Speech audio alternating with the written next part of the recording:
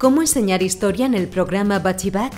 El profesor desarrollará una metodología activa que ayuda a los alumnos a identificar los grandes acontecimientos y procesos de la historia de ambos países, y una visión comparativa que permite identificar tanto los puntos comunes como las particularidades de ambas naciones.